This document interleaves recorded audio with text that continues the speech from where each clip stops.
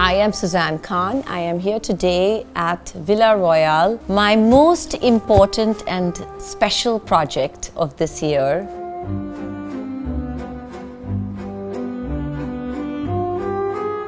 The architecture of this villa has been inspired by colonial European architecture of the 18th century. The amazing part about this project is that you get this piece of land. In Mumbai, to find a piece of land which has a plush little garden and you have your own space is a hard thing.